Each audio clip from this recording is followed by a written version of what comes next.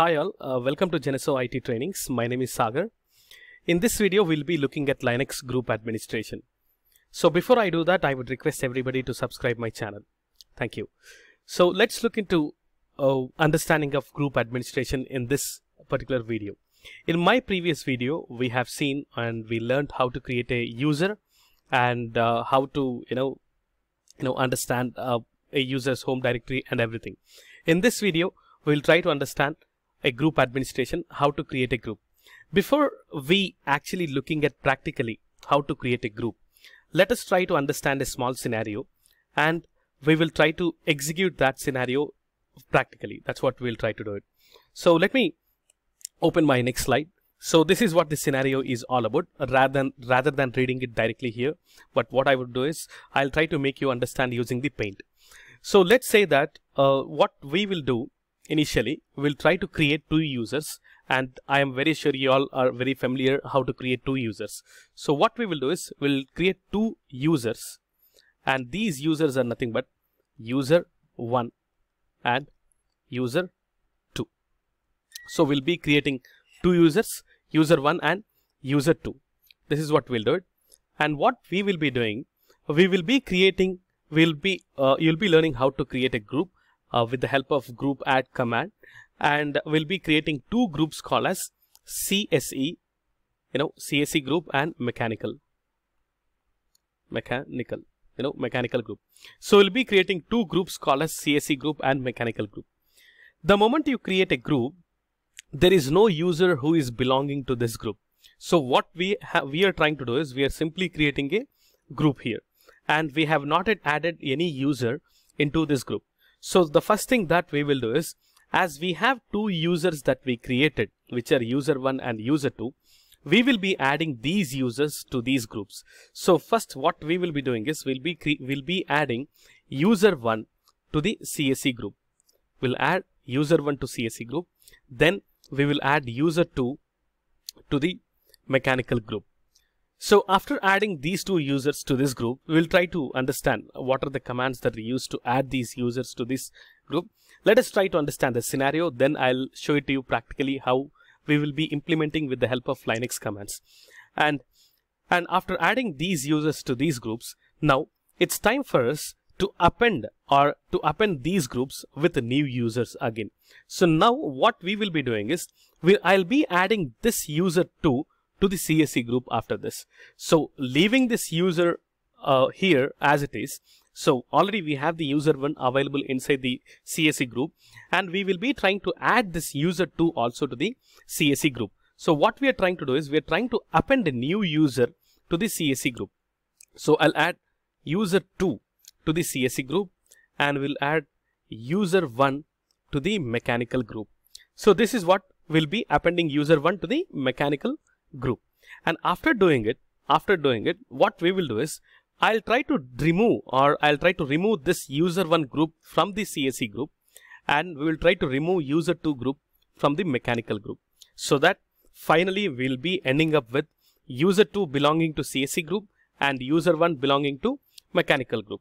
I know in real time situation this would definitely not happen but this is just a small scenario we are trying to understand and we will be trying to implement with the help of the commands of the Linux. So let me repeat it again. Uh, we'll be creating two users, user 1 and user 2. We'll be creating two groups, CSE and mechanical. And first I'll add uh, user 1 to the CSE group. Then we will be adding user to the, to the mechanical group. And after that we'll append user 2 to the CSE group and user 1 will be appended to the mechanical group. And after that I'll try to remove user 1 from the CSE group and user 2 from the mechanical group with the help of the Linux commands. So what are these Linux commands to perform all these activities are provided inside this slide and with the help of this slide we'll try to achieve this particular small scenario and we will try to understand the group administration in a very simplistic manner and we'll try to understand the commands as well. So let us uh, let us uh, let me let me uh, give you some more insights before I jump into practicality. Practicality. So one thing you got to you got to understand. One thing you have to remember uh, before I actually jump into practically showing the things. You need to understand that whenever we create a user, let's assume that we are trying to create a user called as user1. The moment I create a user, in my previous video also I explained the same thing. Whenever we create a user, we will be, uh, with the help of the username, a group name is going to be created. So a group name is going to be created. So this is my username and this is going to be the group name. And the moment you create a user, a group name is going to be created and this user belongs to this particular group now. This user belongs to particular group. In the concept of Linux group administration, whenever we are talking about the groups in Linux, there are two types of groups. There are two types of groups and the first one is primary group and the second one is secondary group. The first one is primary group and the second one is secondary group. So whenever a user is created, a group is going to be created and this user belongs to this group now. And this group, at the time of creation of this username, this is called as a primary group. This is called as a primary group, which is denoted with the help of small g, which is denoted with the help of small g. Now, in this example, what we are trying to do is we are trying to add this user to a new group called as CSE group. And we are all very sure that already this user1 is belonging to a group called as user1 and that user1 is nothing but a primary group and now now if we are trying to add this user1 to a new group called as CSE group to a new group this user1 is being added to a new group called as CSE group and this CSE group is considered as a secondary group. This CSE group is considered as a secondary group and we will be denoting the secondary group with a capital G capital G. So whatever you're trying to do now you know we have two types of groups. One is primary group and the other one is secondary group at the time of creation of the username at the time of creation of the username a group is going to be created which is nothing but a primary group and this username belongs to this group and which is a primary group which is denoted with G and whenever we are trying to add this user1 to a new group called as CSE and this groups uh, this group becomes a secondary group and uh, uh, which is denoted with the capital G. If we want, we can definitely change the CSE to a primary group and this user1 to a secondary group. Okay, that can be done. But we will try to understand what what exactly this scenario is all about and how can we achieve this with the help of the uh, Linux commands. So first what we will be doing is with the help of add user command we will be creating two users user1 and user2 let's start doing it let's uh, let's start creating these two users inside the linux server so let me open my linux uh, server machine here and uh, you can definitely see uh, the groups inside this file called as slash etc slash passwd i'm trying to view this file so i do have only one user that i created genesso and this is already created at the time of creation of this instance Ubuntu is the user that is created. So we have only Genesso as the user. Let's create two users now. So add user, add user, user one. And we'll try to give a password one, two, three, four, five. One, two, three, four, five. And uh, yeah, it's not mandatory to give all these fields. So simply click on Y. Done. So let us create one more user, add user, user 2 2 3 4 5 give the password 5 and okay system server seems to be little slow okay okay no need to give all this information. Simply press y and enter. So look at this. We have created two users uh, and the users user names are user1 and user2 let us check the file whether these users are available. Etc passwd so we have two users available now, user 1 and user 2. Now we have these two users. So now it's time for us to create two groups. Uh, the group names are CSE and mechanical. And with the help of a command called as group add, group add and the group name and the group name.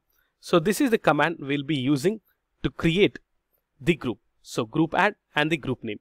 So group add and CSE is the command which is which will help us to create the groups. So let's look into it. So before that, So we have been seeing a file called as slash etc passwd and we will be able to understand what all users are available inside that file. In the same way, do we have any file to understand what groups are created and what groups are available inside the server? Yes, absolutely. We do have a file, you know, called as slash etc slash group. And this is the file which will display all the names of the groups. So let us open it and check whether we already, uh, whether uh, we have CSE and mechanical group inside it or not. TC and group file. Press enter. See, look at this. We don't have uh, CSE and so these are the group names. These are the group names here. And you're aware that we have created Genesso username and with the same username, a group name is created. And this is a user one. At the time of creation of user, a group is created. So this is what we have it. And we do not have, uh, we do not have CSE group or mechanical group. So let's it's time for us to create it. So with the help of a command called as group add, group add space CSE and press enter. The moment you do it, the moment you do it, a CSE group is created. So let us create a mechanical group as well. Group add mechanical and press enter. So the moment you do these simple commands with the help of these commands, we have created CSE group and mechanical group. So where do we check? How to check? cat slash etc slash group. So this is the place where we can check uh, whether we have created the groups or not. See, look at this. So we have CSE group and mechanical group. And this is a group ID and this is going to be the group ID. We can give the password as well for this group. It's not required for us at this moment to give the password. And instead of that, what we will be doing is you need to understand we don't have anything available here. If you look at the end of this particular line, you don't have anything available.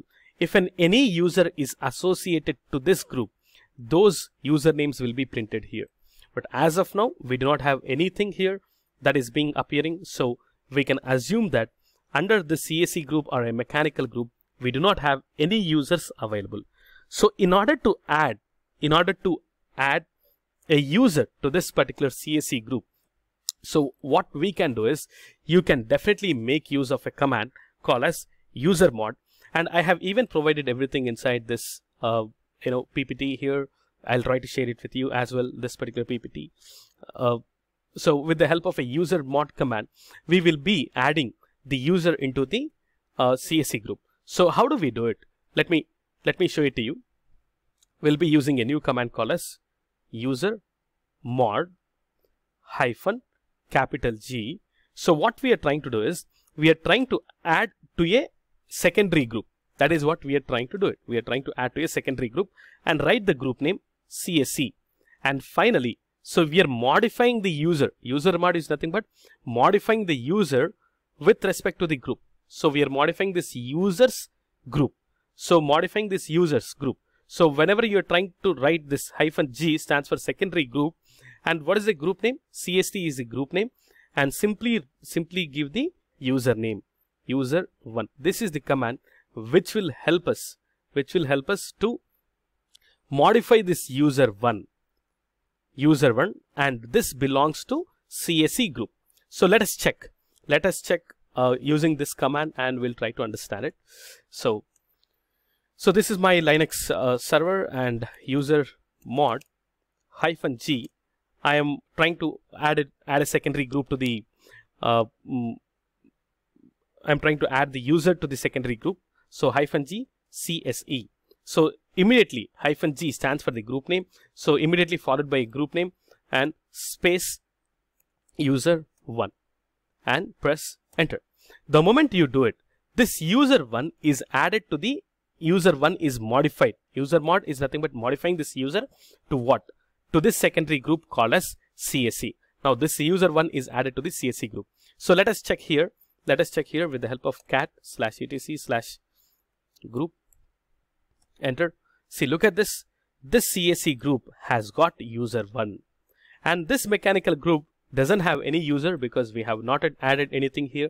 Let us try adding it with the help of the same command user mod hyphen g mechanical mechanical and user 2. This is what our scenario is. For the user 1 group, we are adding user 1. Sorry, for the CSE group, we are adding user 1. For the mechanical group, we are trying to add user 2. Whatever user we created, we are trying to add it and press enter. Let's check the groups slash etc slash group. So you'll be able to observe here the CSE group has user 1 and mechanical group has user 2. Now it's time for us, it's time for us to add user 2 to the CSE group again. So what we are trying to do is keeping this user 1 to the in, inside the CSE group, we are trying to add a new user to the group. So it could be a possibility a group is consisting of multiple users. So that's what we are trying to do it. So now we will try to add user 2 to the CSE group with the help of a same command, but there is a small change. But there is a small change. So whenever you're trying to add, let us assume that if we use this command user mod hyphen g CSE and user 2. So what happens is now the secondary group, you know, for this CSE group will be having with only user 2. Now what happens the moment you type this command, user 2 belongs to CSE group and the secondary, you know, the user 2 secondary group be, uh, becomes CSE, CSE now. Now what we want is, what we want is for this CSE group, we want user 2 to be appended. Already we have one user added, which is user 1. Now we are trying to append user 2 to the CSE group. Whenever we are trying to append, we'll simply use another small option or a flag called hyphen A. So you modifying this user 2, you know, user 2, we are trying to modify it and we are trying to say that user 2 needs to be appended with a new group called as CSE. So we are trying to add this user 2 to the CSE group by appending it, by adding one more user to the group. So let us, let us use this command user mod hyphen a hyphen capital G and CSE group space user 2. So to this CSE group, we are trying to add this user 2 now. We are just appending one more secondary group to this user 2. One more secondary group, we are, we are modifying this user 2 and we are appending a new secondary user. So if I don't use hyphen A, what happens is, you know, uh, even for this user 2, CSE becomes the secondary group. So let's press enter and let's check cat slash etc slash group. The moment you look into it, now CSE group has got two users added, user 1 and user 2. In the same way, let us append, you know, user 2, use, sorry, user 1 to the mechanical group. So user mod hyphen a hyphen g and uh, what is the group name? Mechanical. Mechanical and the user 1 and the user 1 we are trying to add user 1 to the mechanical group. So we are trying to append. So if i don't use hyphen a what happens is uh, only this user 1 belongs to mechanical group. Only this user 1 belongs to mechanical group and this user 2 will be removed. So in order to avoid that we will try to append it with the help of hyphen a and press enter. So let's look at the file slash etc slash group. So look at this. Now we have inside the CSE group we have user 1, user 2. Inside the mechanical group, we have user 2 and user 1. Now it's time for us to remove the user 1 from the CSE group and user 2 from the mechanical group. So how do we do it? We will be able to achieve this with the help of a new command called as gpasswd. This is the command space hyphen d hyphen d delete what to delete now user user see look at this I'm trying to delete user 1. I'm trying to remove user 1 from the CSE group. So I'm trying to delete what? User 1 from which group? CSE group. That's it. This is a simple command again gpasswd hyphen d. Remove the user 1 from the CSE group and press enter. Removing user user 1 from the group CSE. That's what it is going to show as a message. So now let's look at cat slash etc slash group and press enter. So look at this we have removed user 1. The first user that was added to CSE group is nothing but user 1. Now we are removing that user 1 from the CSE group. So look at this. CSE group has got only one user which is user 2. Now it's time for us to remove user 2 from mechanical group. We'll try to remove user 2 from mechanical group. So what is the command now? gpasswd hyphen d delete what to delete what to remove user2 from what mechanical group mechanical group. And press enter here. So removing user2 from mechanical group. So cat slash etc slash group. And press enter. So look at this. We should be by this time we should be able to achieve the desired scenario of us. So initially we have created this user this group and we added user1 and user2 and we created mechanical group we added user2 and user1 but after that we have removed user uh, 1 from the CSE group and user2 from the mechanical group. Finally we have exchanged uh, you know uh, user 2 to the CSE group and user 1 to the mechanical group. So user 1 belongs to mechanical group and user 2 belongs to CSE group. So this is how we can uh, you can administer the groups and you can add the usernames to these particular groups. Uh, and apart from this, uh, let me try to show it to you again. Let me try to tell you, definitely there is a, definitely there is a usage why you got to learn all these things. There is definitely a usage why we are trying to learn it, why we are trying to add certain users to this group. Let me give you a small scenario. As uh, uh, I'll be teaching in the further my videos will be teaching about the AWS and DevOps. And in DevOps, we have one of the tools called as Docker one of the tools we have is Docker. The moment you install Docker on any Linux server, the moment you install Docker on any Linux server, we'll be installing as a root user. We'll be installing Docker as a root user. The moment, just try to understand this scenario. The moment you install Docker as a root user, what actually happens is, what actually happens, any Docker command will work only if you're working as a root user. All the Docker commands will work only if you're if you're running as a root user. But in real time you we will never be given a root user as a privilege. So we will be working as our own usernames so let's assume that there is one user one. If he or she is trying to uh, execute some docker commands definitely this is not going to achieve. So what we will be doing at the time of installation of this docker there is a group of docker that is going to get created. There is a docker group that gets created.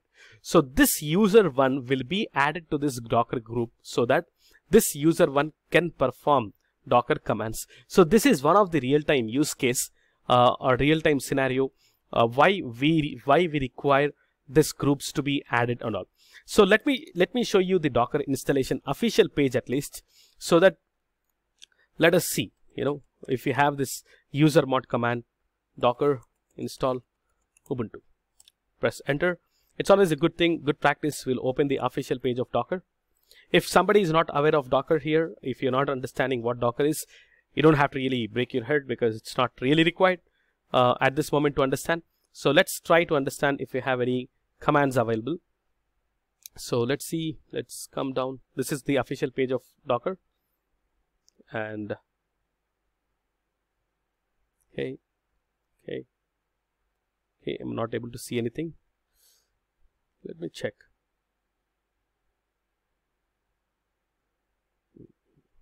Install curl. Okay this is. There should be one command actually. I thought it is available here so let me check one second uh, docker apt-get and uh, docker run hello world okay. Okay anyways it's not available here so it's not really uh, install on Debian. Let me check once.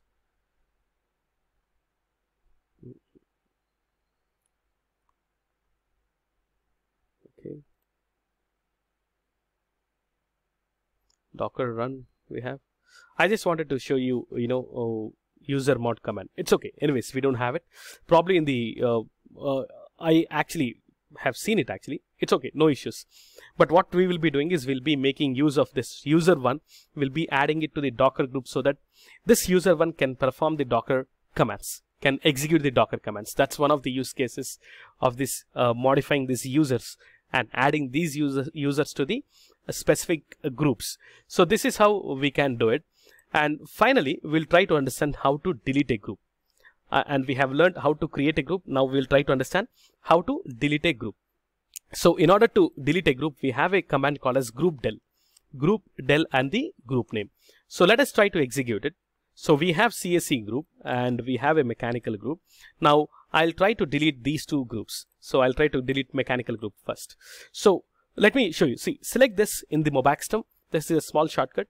Select this so it gets copied automatically. The moment you select this particular word, it gets copied.